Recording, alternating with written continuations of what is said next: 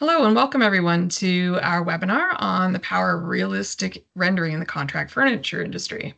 I'm really happy to be your host today. I'm Chris Belfontaine, Marketing Director for KISP, and joining me is a special guest from our rendering team, Harini Sierra. Welcome, Harini. Hi, everyone. Thank you for having me, Chris. Happy to be here. So before we dive in, let's ask you, Harini, could you briefly tell us a little bit about KISP and your experience with visualizations in this industry? Yes, um, I'm from Dominican Republic, and their contract furniture is just related to a bulky desk, uh, metal fields for documents and all this stuff. But when I started working with KISP, I realized that it's a whole new world in the contract furniture industry. It's not just the furniture, it is the feel of the furniture, how the furniture look like in the office spaces, the ergonomy of the furniture, the color palettes. It was a new discovery for me when I started working on KISP on the renderings team. And the fact that there every little details, it think about it very consciously, blow me my mind away. And um, I'm very happy to be involved in this industry in this way because it is important to recognize that furniture is not just piece of furniture on a space. It's something that is related to your life and the way you live. So um, I'm glad to be part of this industry. Absolutely. Yeah, and you know what I've found since I joined is really understanding the impact of the experts in the rendering team on you know how we can boost sales and really bring solutions to life. So that's what we're going to talk a little bit about today is really the power of visual selling. So visualization has always been really important to contract furniture, but it seems like it's becoming even more critical than ever. Do you find that as well with the clients you're working with? Yeah, uh, clients right now are, are pretty much tech savvy. They do some research before jumping into a project in in in our industry. They are pretty conscious about what they want and how they want it. So um, for there, the visual of the product is important, how the lighting affect the product, how they think the client will see it, because they will help them to help the client to make a decision faster. And with all of this knowledge, they're kind of um, a little bit challenging for us because they know what they're talking. So that's why visual renderings are important for our client, for the end user as well. Um, they would like to see how this piece of furniture will look like in the space. So they have pretty knowledge on how they will look like or how this, this piece of furniture will look like. So um, I think it's important that they are pretty conscious about it and they research about it and know exactly what they need. So yeah, it is a deal breaker right now using visuals for sales. Absolutely. Yeah, and I really think that what we're seeing um, more than just presenting the solutions in these beautiful renderings is really that it's about responding to clients with a really personal recommendation, customizing yeah. it for their space, all those kinds of things. How can I put this into words? They are pretty um, straightforward what they want, how they want it, because they have an idea and they would like us to present this idea exactly as they need it. They do take recommendation because they know that we are the experts, but they always overseeing everything that we do to make sure that the final product is as they need it and as they want it. Let's look deeper into the actual process. So, Harini, could you share some practical tips that our audience today, which is probably mostly dealers and manufacturers, how can they, um, you know, implement systems that get them to the best quality renderings when working with a team like yours? Yeah, for us, the most important assets will be the 3D symbols of the products that would like us to present in the renderings. This is the most important assets because it is the product that, that we need to put in the renders. Um, today, the software that most of the client manufacturers are using, the quality of the 3D symbol is not that good, but we rely on clients that have access to engineering files that have all of the details and will save us time into remodeling the product, for instance. If not a problem for us, but we need to make the product look good on the render. So for me, um, the most important access to get will be the 3D files of the product. Then information about um, how the client would like to present the product. For instance, on a white background rendering, it's all about the product. Mm-hmm. So we need to get the best sample for the fabric, the best sample for the wood or the laminate or whatever element this product should have, we should get the best samples. And when I say samples, it is a pretty good quality image of the fabric, of the laminate, of the wood, of whatever. They can give us the information about the manufacturer and we can look it out um, on a website and get the best sample, for instance. And then on the environmental side, as much information they can give us about the look and feel of the, the space, the better. Sometimes clients, for the speedy of the process and they need to get things done for yesterday, they oversee that as much information that we can get, the better. They don't need to give us, I don't know, the architectural presentations for um, the bid, but at least give us a mood board on how they would like to mm-hmm. present the product.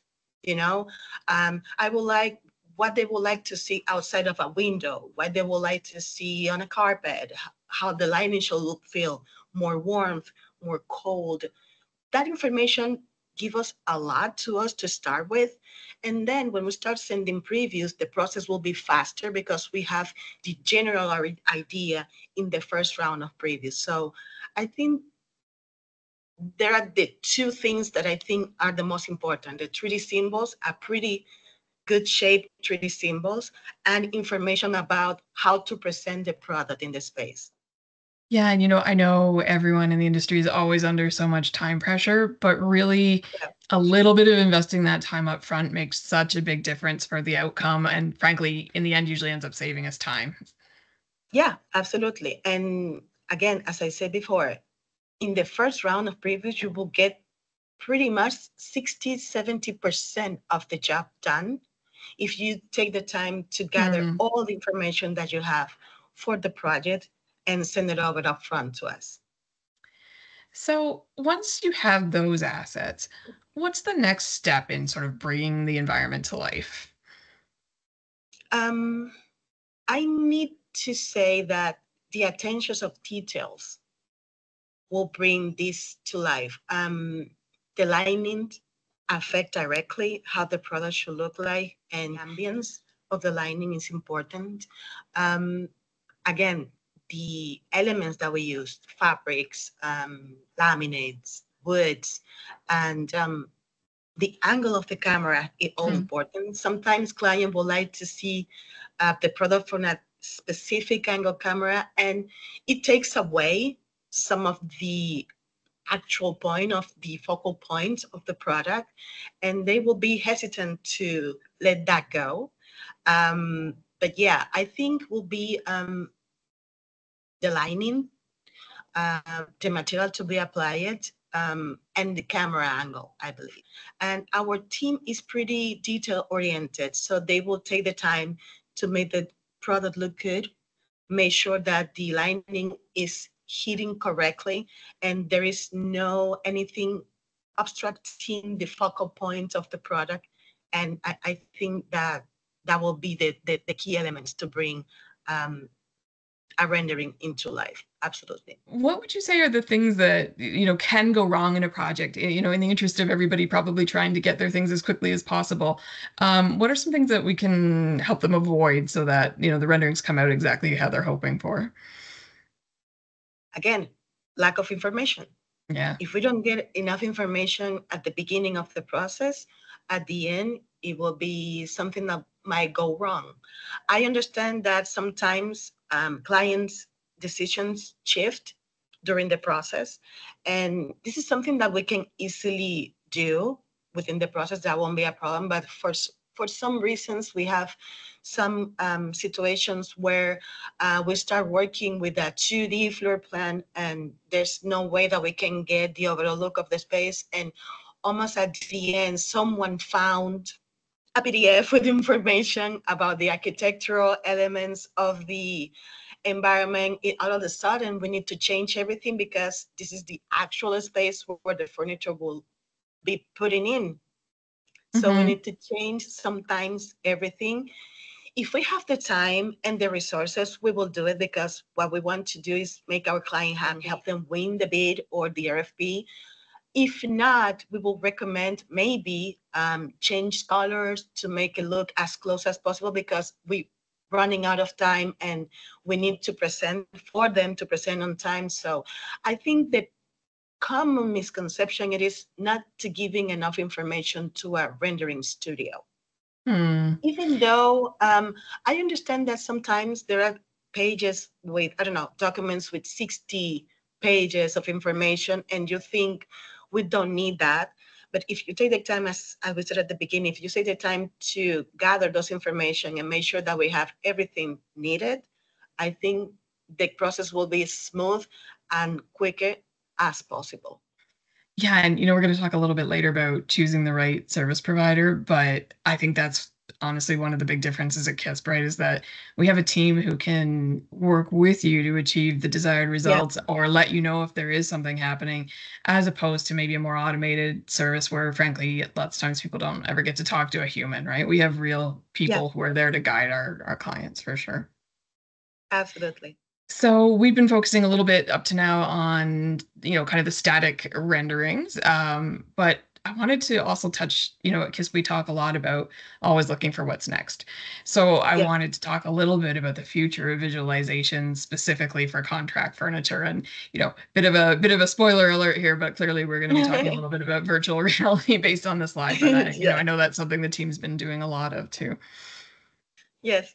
Um, yeah. Um, virtual reality and augmented reality will be in the conversation for the next couple of years. And every time is our team is getting better and better working on virtual reality technology. And I have to say as well, um, we are using now Unreal Engine to make the experience more interactive with the clients, where they will be able to switch finishes within a VR experience using a VR goggles and, and joysticks like a video game.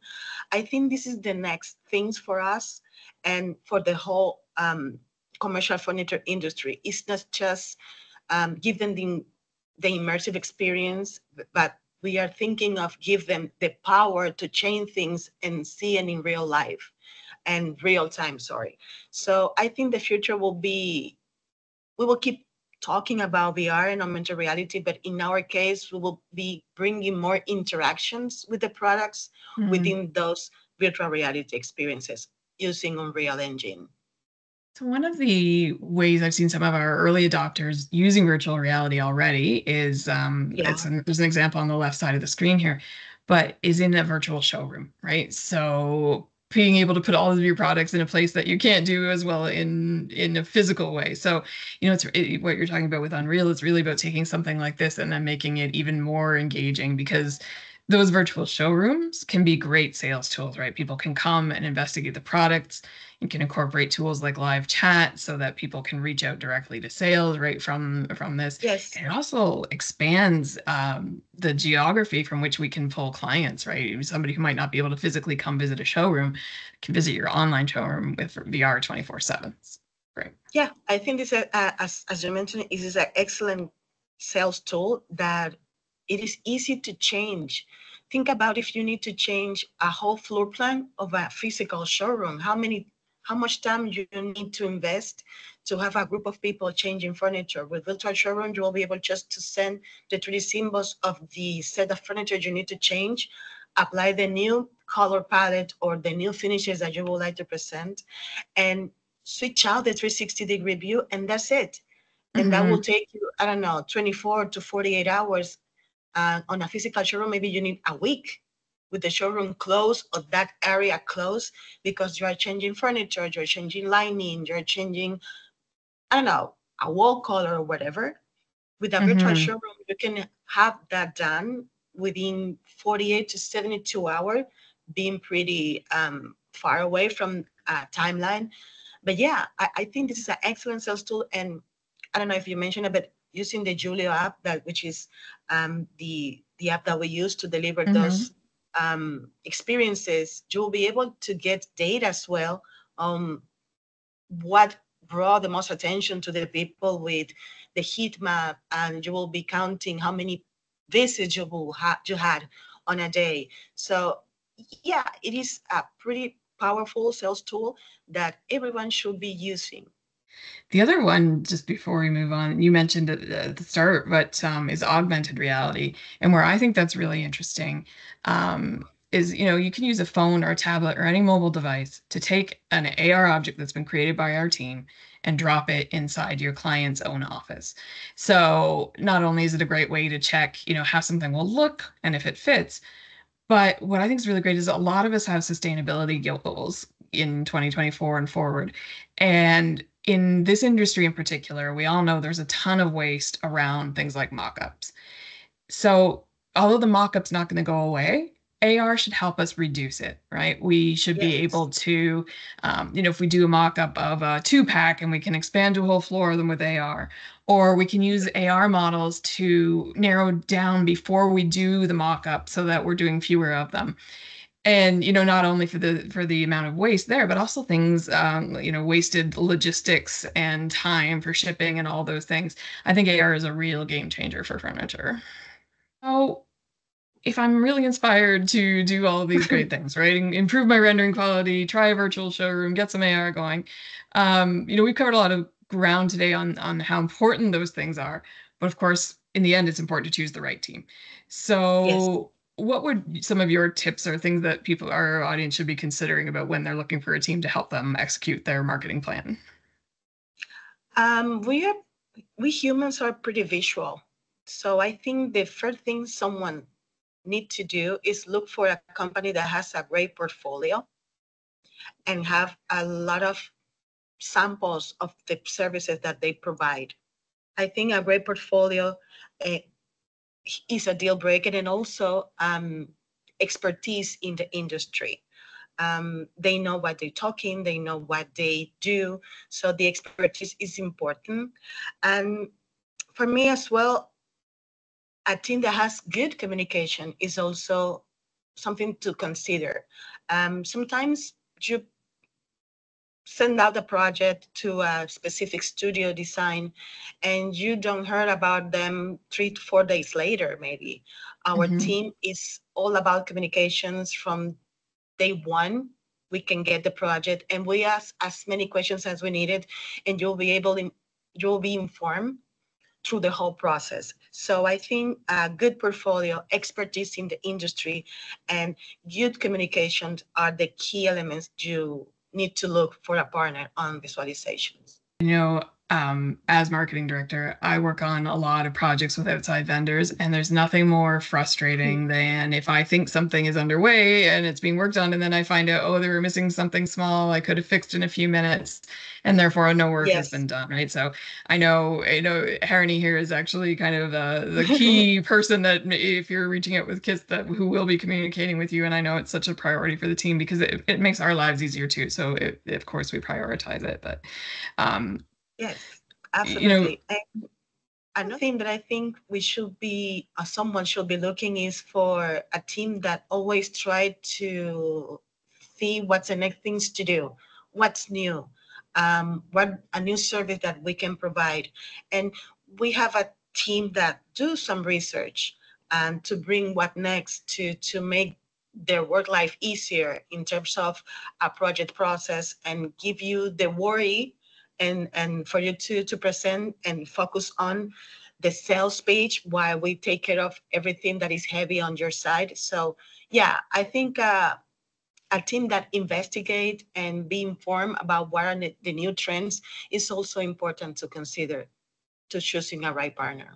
That's a good point because i know our team has sometimes you know offered suggestions to people you know they come in thinking they want a certain solution and we say you know this would be an amazing candidate for an ar object or whatever it is or we have that deep expertise and with furniture especially to be able to come in and say you know offer consultation or what's next or what's going to really make our clients stand out from from their competition when they're pitching or doing rfps so to wrap up um, let's just revisit some of the the key takeaways so i know you know it kind of comes down to making sure we have the right things coming in so that we can do our best job going out and communicating you know, more than the visual stuff, it sounds like communication Yeah. is the key.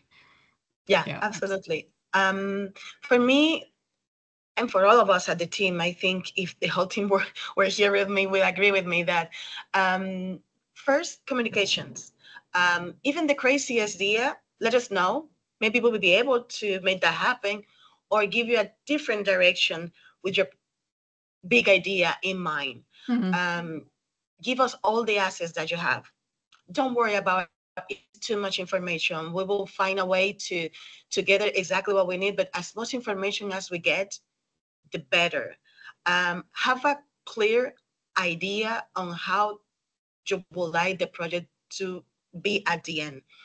Even though we're going to suggest you from our experience and from our expertise, it is good to know that the client know exactly what they need. And even if you don't know, we will guide you out and give you some advice and give you some ideas for you to, to present. But if if you as a client know exactly what you need, it will be a lot easier for us. And um, communication is key. Again, communication is key. Um, we will hear from me several times during the whole process, making sure that you're informed for whatever is happening on the project process.